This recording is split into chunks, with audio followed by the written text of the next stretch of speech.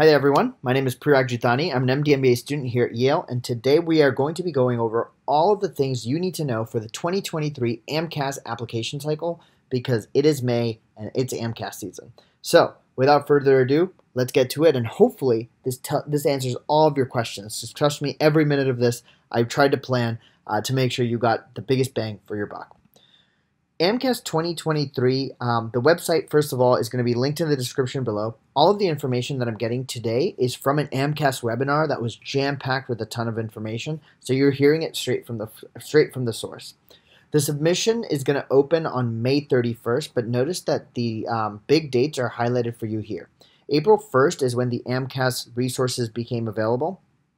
May 3rd is when the AMCAS application itself opened, where you started, where you could now edit your activities, you can put in your meaningful experiences, you can add in your personal statement. But until May 31st, you will not be able to submit. May 31st is the first day you will be able to submit. And I will tell you right now, I did not submit on the first day. And to this very day, I almost regret it because it throws everything off. The earlier you submit, the better off you're going to be because everything um, that is submitted is processed in that order. So if you submit late, you're going to get your application processed later. Um, so the problem is for medical schools to get your application, you need to not only submit it, but it needs to be processed. And oftentimes, the later you submit, the longer the processing time is, which delays it from getting to the medical schools, which delays potentially interviews, which then potentially delays acceptances because classes will already be full by the time you may even get an interview, right? One thing that you need to make sure is that you need to make sure you need to have your letters of recommendation and your transcripts by June 24th because that is when everything is going to be transmitted over. However, the other thing to remember is before you submit your AMCAS, and I'm telling you right now you should try to submit on May 31st, but before you submit it, you should have your transcript because if you submit it and your transcript is not there, that will ultimately delay the processing. You don't necessarily need to have all your letters of recommendation in by that day. You can actually submit your ERAS, um, submit your AMCAS without having all of your letters of recommendation in, but you cannot submit your AMCAS without having your transcript in.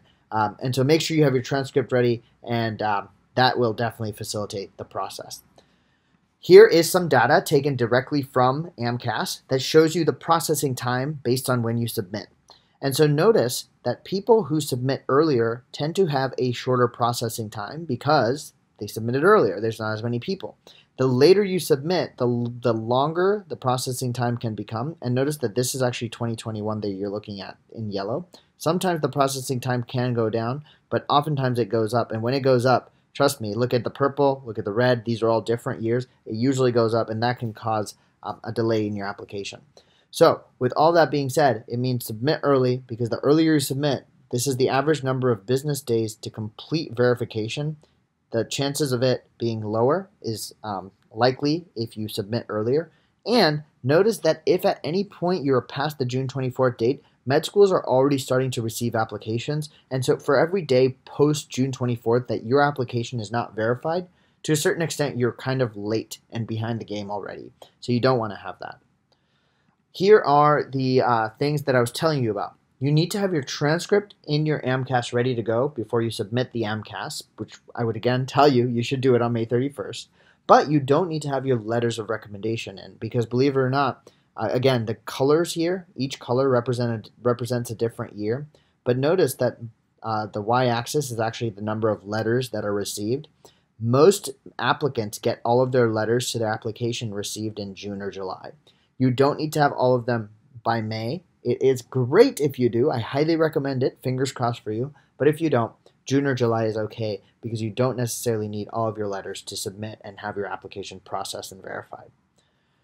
So, now let's talk a bit about cost. This is going to be an expensive process, and believe it or not, the, the AMCAS does have a um, supplemental fee waiver. So if you feel like you may be financially strained by this. There are certain cutoffs that you have to meet, but if you meet those, AMCAS does waive application fees.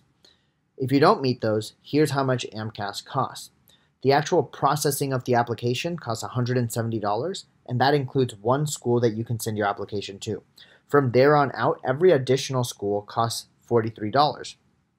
So, if you're like me, I applied to 30 schools that means 170 and then 29 additional schools. So 170 plus 43 times 29, that ended up being around $1,500 just to apply to medical school.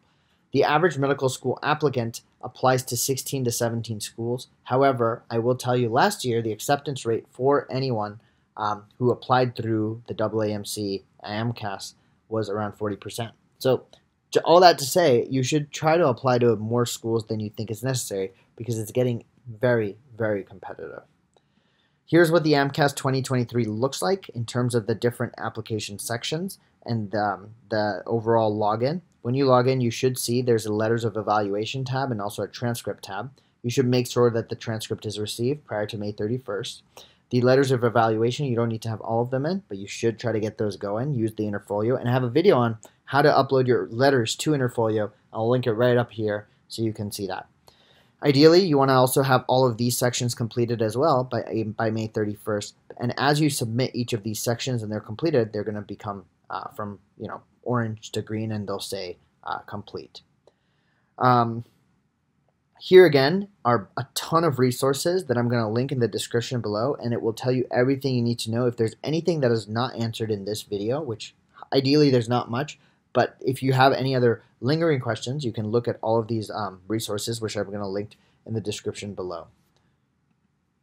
The last thing I'm going to tell you is if you're taking the MCAT and your MCAT score is going to come in um, between May to June, that MCAT score will automatically be tied into your application. You don't actually need to wait uh, to add it in manually.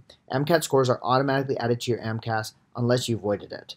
Um, and if you didn't void it, it will automatically be added, so you don't have to send them manually. It's and however many times you've taken the MCAT, assuming you have not voided your score, all of those scores will be added, and they're going to be added in this way, where they can uh, the applicant reviewers can see the score in each section, they can see the percentile scores, and they can also see your overall percentile score as well as the percentile score in each of the four subsections of the MCAT. Um, I will now end by telling you that if you do not already have a Twitter, you should get one. And I say that because the AAMC and AMCAS tweet out a lot of information. If you are um, want to know like the biggest things that are happening or the most recent updates, I would strongly recommend you follow their Twitter because they tweet quite a lot and they have a lot of great information. And this is often where I learn a lot of good stuff as well.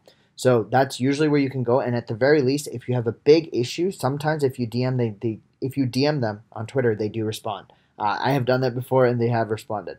So hopefully this gave you a good 360 degree overview of everything you need to know. If you have any additional questions, a ton of resources will be linked in the description below.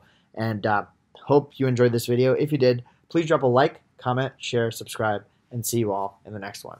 Peace.